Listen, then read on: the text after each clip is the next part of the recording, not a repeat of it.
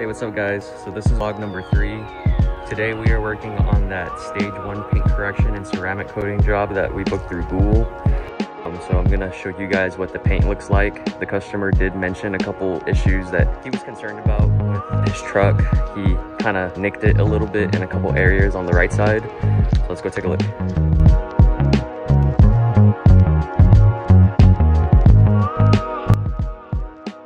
You can see marks right here.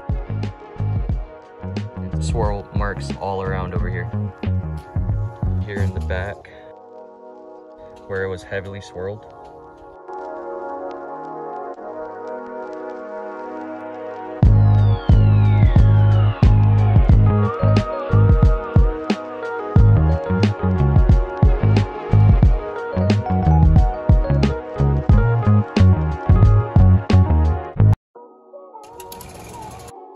start with pre-spraying the truck.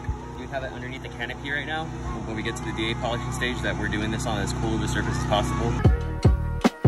In Texas, if it's a lot hotter outside, it can make the panel dry a lot quicker. So this is gonna help beat it up. That way we're not fighting with the heat.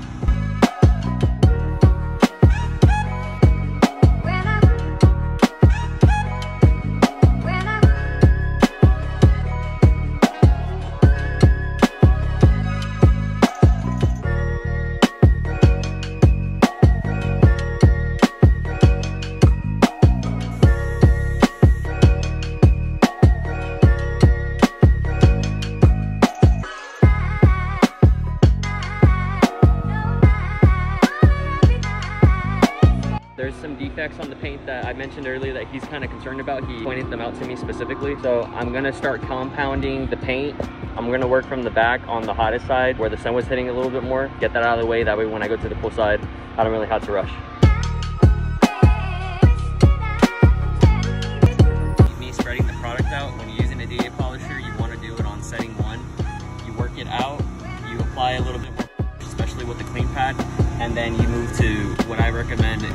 Four and a half speed, and then I'm gonna start going from left to right, and then we're gonna go down and up. So that's technically one pass.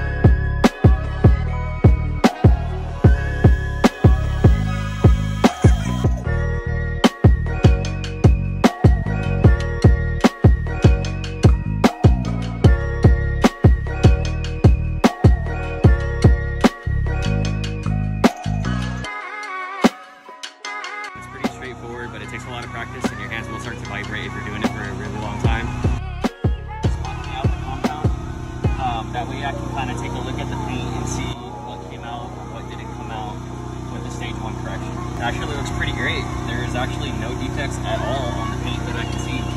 Um, another thing too is if they're deep enough, you might not be able to get them out, but you can kind of blend them in. That means that the scratch will still be there, but you would have to see it at a certain angle because it's blending into the clear coat.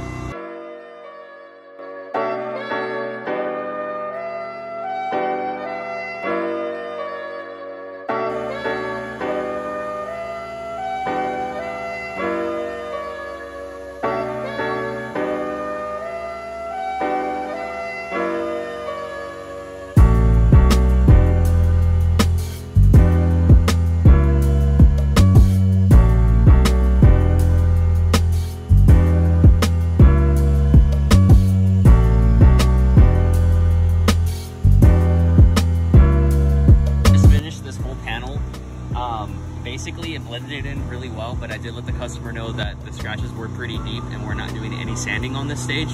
Um, but it's almost not noticeable unless you really look at it. So it looks a lot better. I'm pretty sure it's gonna be satisfied with it. So we're gonna switch our cutting pad out for our polishing pad. You don't wanna use the same pad to use wax or anything else. Compound pad, rip it off, switch it to a blue pad. Um, there's other companies with different kinds of colors and, and things like that. Don't get too caught. As long as it says waxing, polishing, then you should be okay. We're using liquid wax. We're gonna apply it generously to the pad. On the want to do that is because you want to make sure that the pad not dry to the touch, especially when it's going on the paint. So you're gonna kind of work it in.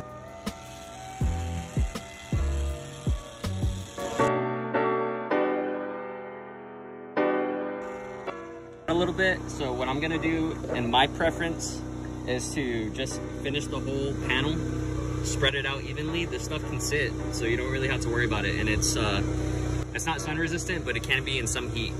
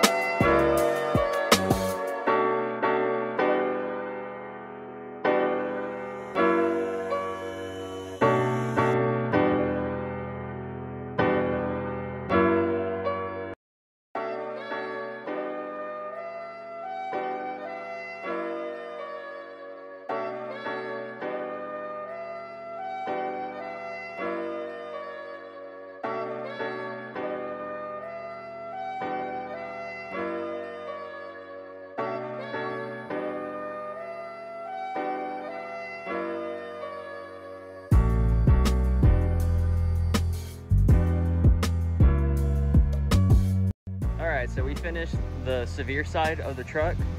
Um, I did end up doing a little bit of sanding just as a courtesy. So I used 3000 grit, but basically there was indentions in the truck from wherever it scraped. And so using that 3000 grit helped me blend it in a little bit better. So when I started cutting it, it basically tried blending in the defects as much as possible.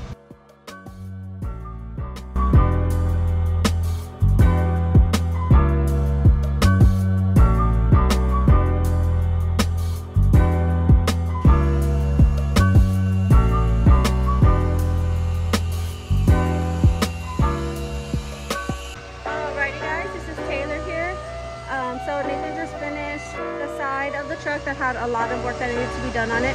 Um, so I kind of helped assist him with that, handed him his pads, his compound, things like that.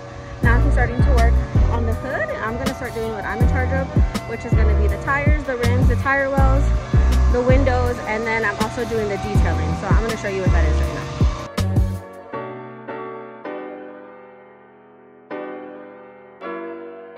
We're all done with this uh, luxury package with ceramic coating. We took about five hours on this one just because of the contaminants that were on the paint. Apply ceramic coating, you have to be sure to take off any excess ceramic off of the paint or else you're gonna have these dark spots. Quality control is really important, so we're about to get on out of here and that's about it. All right guys, see you.